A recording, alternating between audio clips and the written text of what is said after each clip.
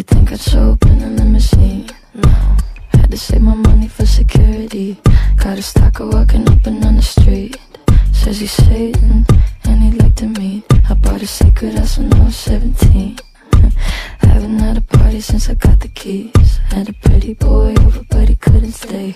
On his way, I made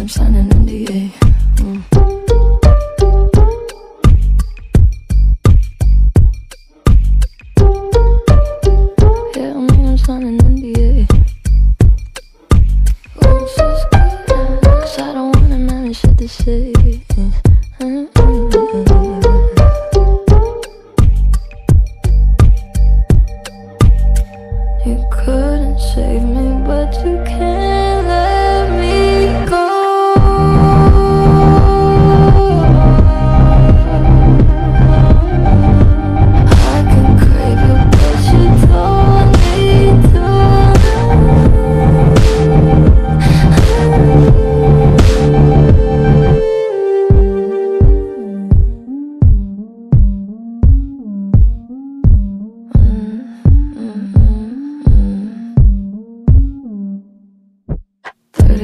Thirty for another year.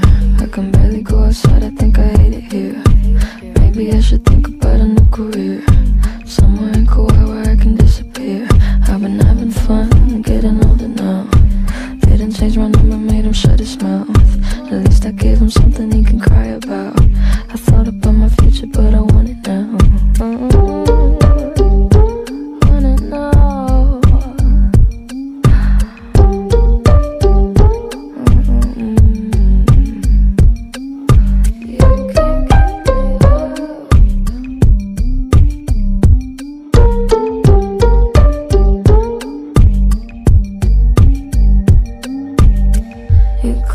谁？